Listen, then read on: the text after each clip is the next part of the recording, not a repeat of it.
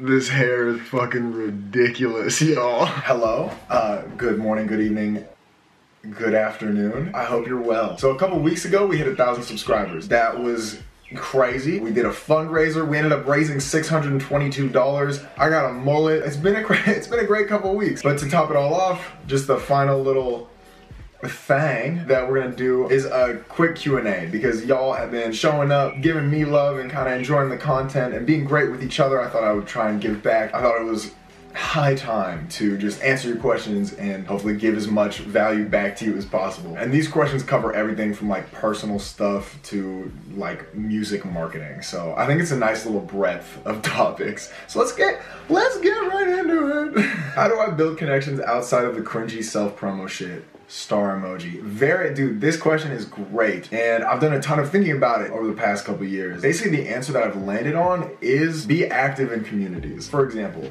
I love Aries music um, and his content on YouTube, that was wonderful. One of my first sort of introductions into any sort of community was the Aries Discord. And through that, I actually met uh, quite a few of the people I'm making music with currently. I ended up gaining quite a bit of a following from there, doing a remake and actually learning a ton just from being a part of that community. Long story short, the best way to build connections is to be active in the scene that you want to be a part of. I've been wanting to get into music. Any tips? Yes. Whether or not you're learning an instrument, a DAW, or just trying to sing, do covers and remakes of songs that you love. Maybe not like your favorite songs because when you do covers of those, it might ruin it a little bit, but songs that you really like. the remakes I've done have been the biggest learning experiences out of anything I've ever done. Just trying to replicate sounds, you get to know your DAW so well, especially on an instrument as well. Like you really just get to know the ins and outs, you get to use your ear. It's kind of hand-eye coordination, but with your music. Play things you want to play. What kind of setup do you have for your gear? Okay, this is a really important question. Right now, I have a Focusrite 2i audio interface to plug my mic into and my guitar.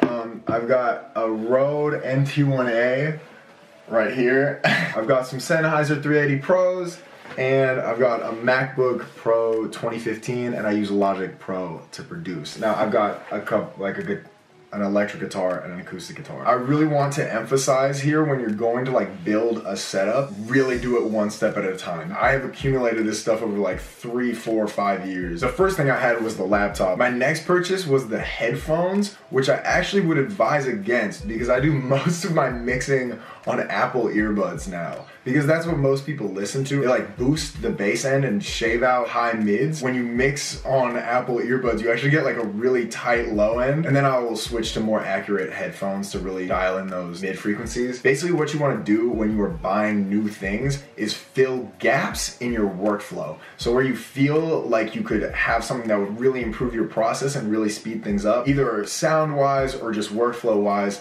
that's where you should invest. And when you invest, invest in like the lowest step up. So let's say you've been recording on your Apple headphones mic. The next step for me would be invest in a Yeti, which is a USB mic, so there's no extra little bips and bobs you gotta get, just workflow stays the same. Steps like that. Only invest in things that you're actually gonna use, especially if you're tight on cash. And if you're not tight on cash, still do that shit because you don't wanna clutter your space, alright? Also, an important thing to note is that mixing is everything. If you're looking to buy stuff to upgrade your sound, keep in mind a lot of records are recorded on really garbage shit. For my music, for reference, all of my stuff was recorded on a Blue Yeti up until Winter, which the intro vocals and all the guitars on that song were recorded on Apple earbuds and my shitty Marshall practice amp, and the rest of the song was on the Rode NT1A, and then You was the Rode NT1A and Falling. So you can do a ton with mixing. Um, so before upgrading your gear, make sure you can mix. Do you love your king? I'm, I'm your roommate. All right, are you down? Yes. What's the story behind the IG name? Do you do any promo? Oh my god, I could talk about promo for an hour and I might do a separate video on this. I don't do any paid promo. The only paid thing I've ever done was Lusion, the TikTok artist, used to be uh, really active on YouTube. He was doing song reviews and I paid him five bucks to review one of my songs. And that was actually like where I got my first sort of audience outside of my friend group. Be fans of smaller accounts. That can be really helpful in um, building nice little connections there as well. Outside of that, upload to Spotify four weeks early, contact some blogs if you're feeling up to it, and um, just make sure you have a lot of different types of media surrounding your song. So videos and live stuff, all that sort of thing. Best album ever. A lot of these are tied, but basically any of the last three Kendrick Lamar albums, Sports and You're Gonna Miss It All by Modern Baseball and Welcome to the Black Parade by My Chemical Romance. What do you produce in? The Jick.